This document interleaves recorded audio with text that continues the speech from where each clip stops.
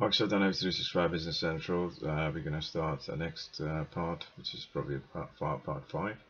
So the company uses Dynamics 365 Business Central. You need to create a user account for a new salesperson. Account uh, the account must have the same permission as other salespeople. So it's going to be a drop-down list. You click there, and you'll see these four options. So add a new user. You add always go to the users and update users from 365 um, assign users permissions and that's um, you can obviously it's gonna be the same because it says the account must have the same permission as the other salespeople. So this should be a salespeople security group or user group and then you assign a user to the user group uh, for to assign the user permissions the next question says a company use Dynamics 365 Business Central. You need to customize sales invoice printouts to meet the following requirements. So the what are the requirements? Display the customer city and then the postal code. Display the, uh, the company logo to the right of the customer address, uh, etc. Uh, where should you make these configuration changes? Okay, the requirements are there. And obviously, let me just uh, extend that. Similarly, it can be a drop-down list. You click there and say, display the customer city and then the postal code. So you go to local address format in general ledger setup page. Um, that should be on this side. Sorry, I don't know why is it there. Let me just extend that.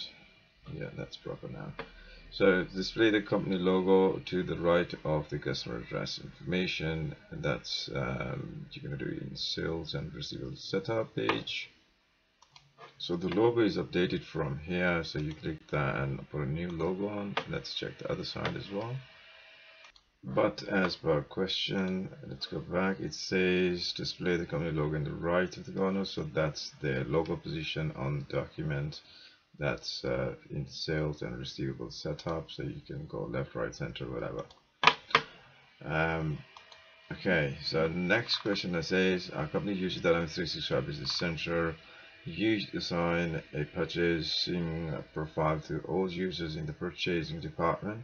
A user moves from the purchasing department to another department. You need to remove all personalization in the user group uh, user profile sorry which reaction should you perform so that's it says um, the list.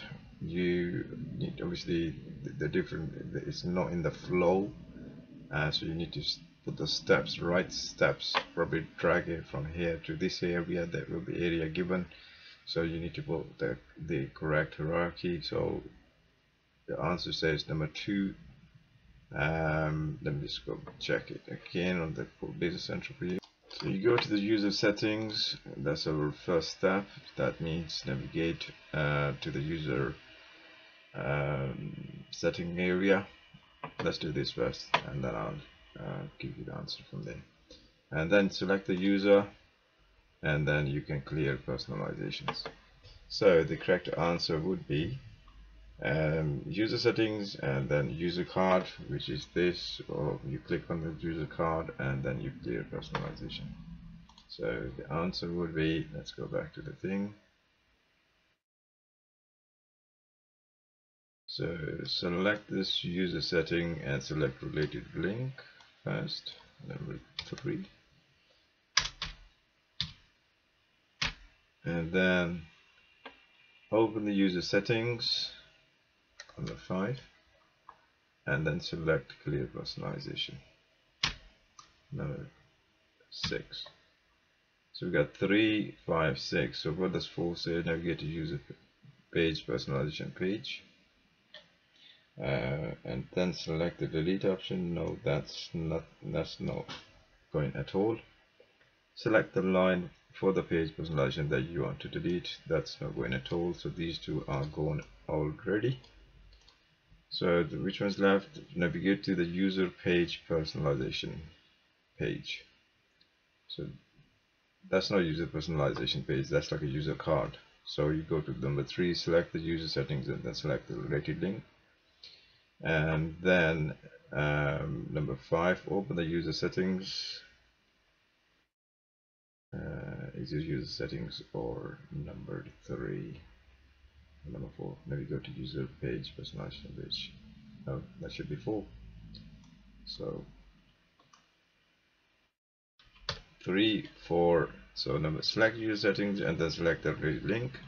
Navigate to the user page personalization page where we selected this click user and came to this page which is personalization page and then clear uh, personalization. So that's the correct answer Right, so the next question says a company creates blanket purchase orders from inbound documents that are sent to document uh, to, to Dynamics 365 Business Central by purchasing agents. Uh, when a new blanket purchase order is created with a certain item, the system must send a procurement supervisor a request to approve the, the purchase order. That's of workflow.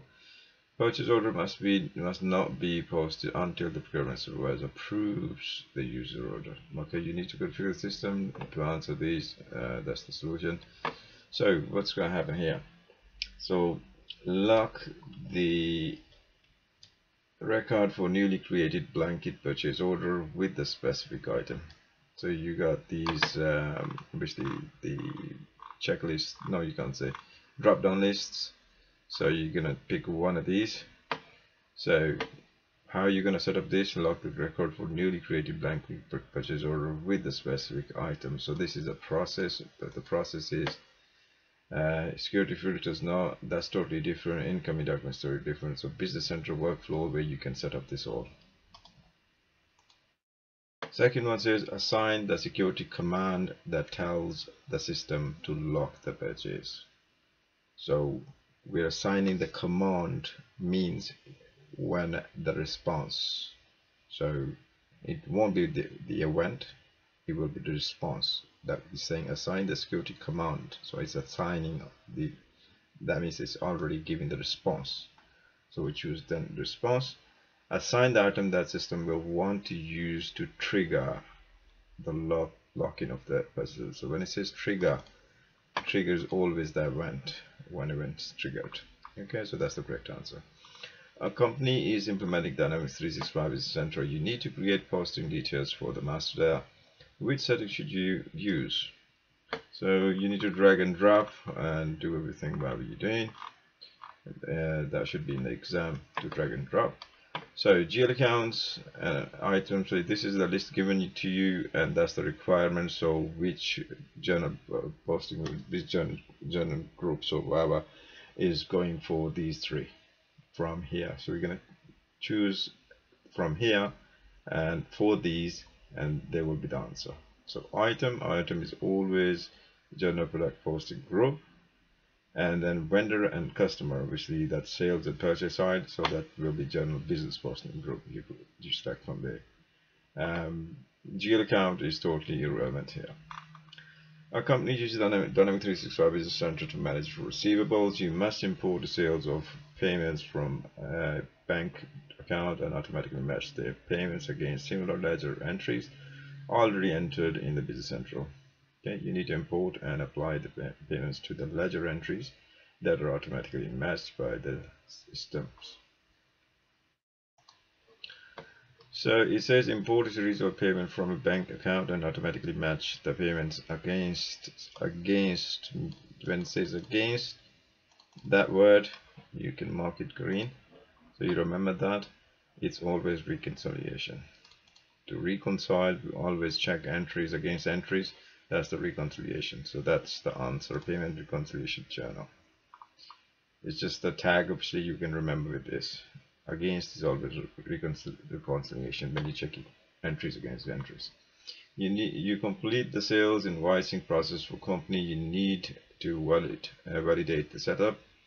Which setup should you check for each process? To answer, select the appropriate option. Answer area, note each correct answer worth one point. Okay. So here it's a bit confusing one. Let's a look. So the answer for create a shipment document for every item sales. Document sending profile is how you send up documents. Your original setup is different. Number three is something else. So sales and receivable setup, you can see here. It's already open, so that would be here's a shipping on invoice. So create a shipping document for every item sales. So you click that, obviously it's going to create the documents for everything. So that's the correct answer. Store PDF files of sales invoices and create credit memo automatically. Document sending profile is totally different because that's for sending. That doesn't go, that doesn't go. Sales and receivable obviously works here as well. There will be here uh, post and print with job queues, probably yes. So that will store PDF files of sales invoices and credit memo automatically at the end of the each day. So it's a job queue automatically created and it will save the documentations. The next question says a company purchases items by using cash. You register a vendor payment when you post purchase invoices, uh, invoice for a cash vendor. So you are creating a new cash vendor. No prior vendor have been set up as a cash vendor. So you need to set up the vendor so that the payment posts automatically when you post a purchase invoice. So it gave us a few options here. Payment method as cash, payment term as card, and um, oh I missed this one sorry um, well let's do this one first uh, so third one is payment method and cash with balancing account and prepayment. So that's the answer. You got it in green. This question says a company process standard vendor payments on the seventh day of the next month. So next month plus seven which is calendar month plus seven is the answer. So guys, hopefully you understand that. If you have any uh, kind of update for these answers or you think anything is not uh, right for you or you think it's not correct, please leave me the uh, answer in the comments so whoever is watching at least they can benefit from this. So I'm only creating these videos because it's easy for people to remember, to understand, to prepare for exam and they don't have to worry about things. Uh, otherwise, Business Central is quite a huge thing to be a consultant. It's not easy to pass the exam. So keep focusing. It's very hard to remember the answers. So just try to understand. To understand, you need to go on Business Central and practice it, where the things are, how it works. So then you can be able to remember the answer because you have practiced on this actual system. So you can download uh, Business Central from Google or wherever you want from Microsoft website and do the trial version and you can just check your own uh, Business Central. Otherwise, if you just try to remember these, you're gonna make mistakes because there are loads and loads and loads of questions. You won't remember every question answer. Uh, so keep practicing. Practice is best thing, and that's how you're gonna learn Business Central as well. Because if you become a consultant, and if you don't have an experience or you don't know the system, you're not gonna get a job. So the main focus of everyone is to pass the exam to get a job. So please focus on it and focus on Business Central and try to check the answers. And if, if you see anything, any discrepancies, just give me um, just leave me comments so at least that the people can read it and don't just leave that this is not right. Just put the comment that what is right. So I'll be I'll really appreciate that if you help each other and to pass the exam and be professional um, obviously to pass the exam. Thank you for watching. Take care.